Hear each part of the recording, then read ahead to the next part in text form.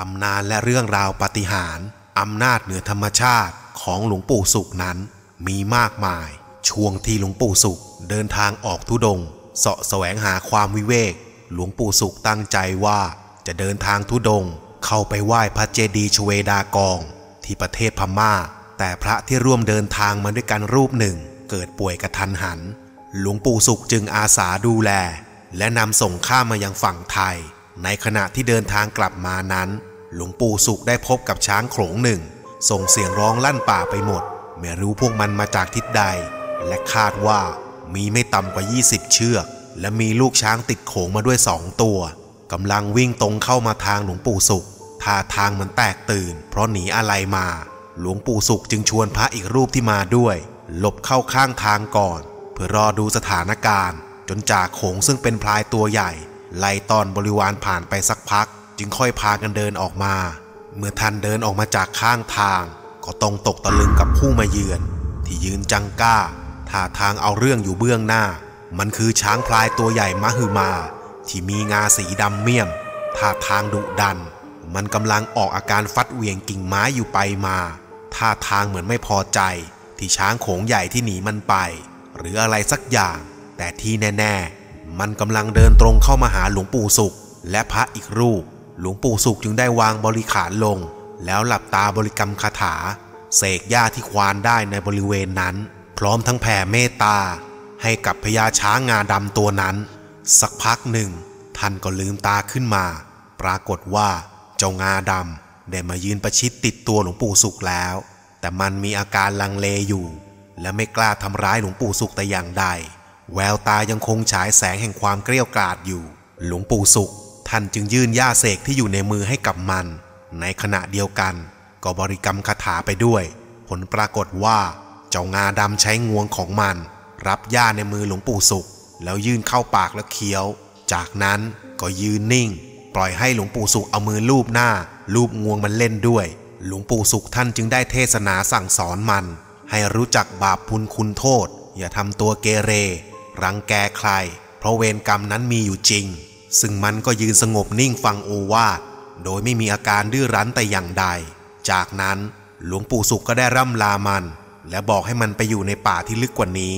มันจะได้ไม่ถูกรบกวน เพราะงาดำของมันแปลกตา และมีขนาดมหึมาอย่างมาก เกรงว่าจะถูกพานล่า จากนั้นหลวงปู่สุขก็ชวนพระที่มาด้วยกันเดินทางต่อไป หลังจากที่หลวงปู่สุขออกเดินทางออกมาจากเจ้างาดำสักพักใหญ่ ก็เกิดฝนตกอย่างหนัก ท่านจึงชวนพระที่ร่วมเดินทางมา หลบใต้ร่มไม้ รออยู่นานกว่าฝนจะหยุดตกลงมา จากนั้น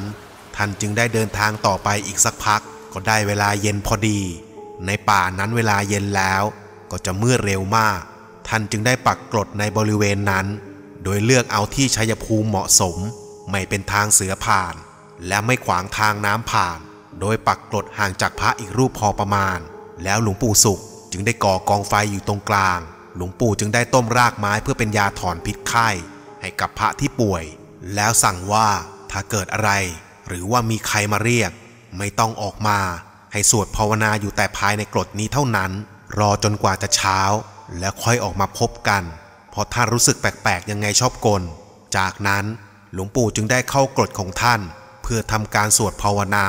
จนกระทั่งกลางดึกท่านได้ยินเสียงเท้าเหยียบใบไม้รอบๆกรด แล้วก็เงียบหายไป สักพัก ท่านก็ได้ยินเสียงร้อง เป็นภาษาไทยผสมสำเนียงกะเหรี่ยงคำว่าช่วยด้วย แต่หลวงปู่ท่านรู้ด้วยญาณสมาธิว่า เสียงนั้นไม่ใช่คน ท่านจึงหลับตาภาวนาต่อไป ข้างฝ่ายพระอีกรูป ที่อยู่ในกรดใกล้ๆกัน ก็ถูกเสียงเรียกขึ้นมาเหมือนกัน แต่ก็เงียบไปจนในที่สุด ต่อมาสักพักก็ได้กลิ่นสาบเสือฉุนมาอย่างรุนแรงโชยเข้ามาในกรด และปรากฏเงาดำใหญ่ของเสือโคร่ง ยืนทะมึนอยู่ภายนอกกรด มันเดินวนเวียนอยู่ภายนอกกรด แต่ก็ไม่สามารถเข้ามาในกรดของหลวงปู่ได้ จนเวลาผ่านไปหลายชั่วโมง ทุกอย่างก็เงียบสงบลง และไม่มีเหตุการณ์อะไรร้ายแรงเกิดขึ้น หลวงปู่สุขท่านก็แผ่เมตตาไปให้ และพร้อมทั้งอุทิศส่วนบุญส่วนกุศลไปให้ด้วย จากนั้นท่านก็พักผ่อนเอาแรง จนรุ่งสว่าง ก็เดินทางออกมาสำรวจรอบๆกฎ จึงได้พบรอยเท้าเสือโคร่งขนาดใหญ่ เดินวนเวียนอยู่รอบๆบริเวณที่ปักกรด และบริเวณกรดของพระที่ป่วย ท่านจึงได้เก็บบริขาร และเร่งเดินทางต่อไป จนกระทั่งสายๆจึงได้เข้าเขตหมู่บ้านกระเรียง และได้ทราบข่าวว่า เมื่อคืนนี้ ได้มีเสือสมิงเข้ามากัดคนในหมู่บ้านตายเป็นหนึ่งคน โดยแปลงร่างเป็นหญิงสาวเข้ามาขอน้ำกิน ชาวกะเหลี่ยงซึ่งเคาะร้าย ไม่ทันระวังตัว จึงลงไปเอาน้ำให้ เลยถูกเสือกัดตาย และเสือก็ได้ลากศพหายเข้าไปในป่า หลวงปู่สุขจึงได้บอกชาวบ้านไปว่า เมื่อคืนมีเสือโคร่งตัวใหญ่ มาวนเวียนอยู่รอบๆบริเวณที่ปักกรด และได้ยินเสียงร้องเรียกให้ช่วย เป็นเสียงสำเนียงกะเหลี่ยง แต่ท่านได้ทราบดีว่า เสียงนั้นเป็นเสียงเรียกของเสือสมิง จึงไม่ได้เปิดกฎเพื่อออกไปช่วยพวกชาวบ้านได้ฟังดังนั้น จึงได้นิมนต์หลวงปู่สุขให้พักอยู่ในหมู่บ้านสักระยะหนึ่ง เพื่อเป็นขวัญกำลังใจให้ชาวบ้าน โดยสัญญาว่าจะดูแลเรื่องของฉันเป็นอย่างดี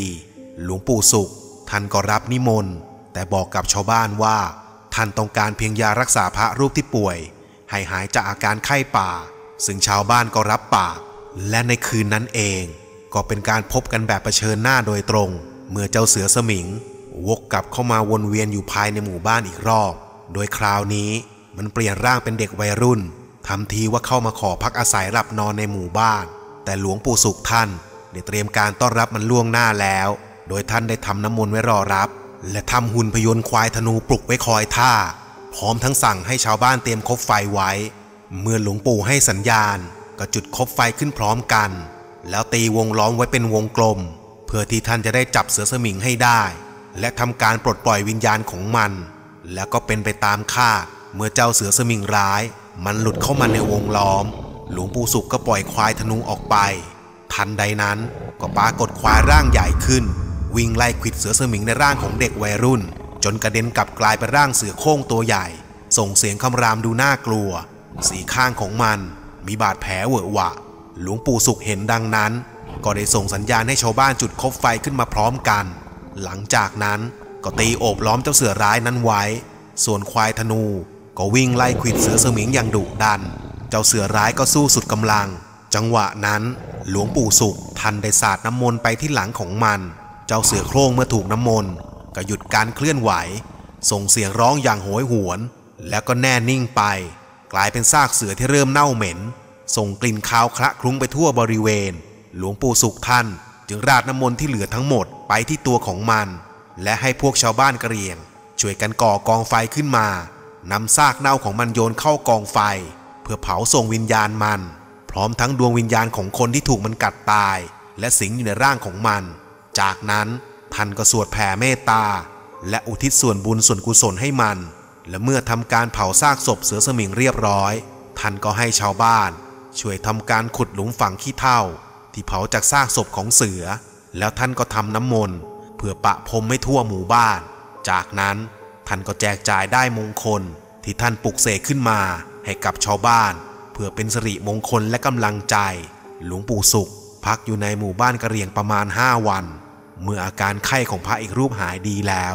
ท่านจึงชักชวนกันลาชาวบ้าน และออกเดินทางต่อไป โดยพระรูปนั้นได้ขอแยกทาง เพื่อที่จะเดินทางกลับ เนื่องจากกลัวว่าอาการไข้จะย้อนขึ้นมาอีก หลวงปู่สุขจึงได้เดินทางทุดงต่อไปเพียงลำพัง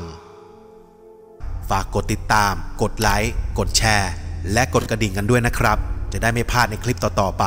ขอบคุณทุกยอดไลค์ ยอดติดตามนะครับ มีเรื่องราวใด ๆ จะให้เราทำส่งมาได้ที่ลิงก์เพจด้านล่างได้เลยนะครับ คลิปนี้ขอลาไปก่อนครับ สวัสดีครับ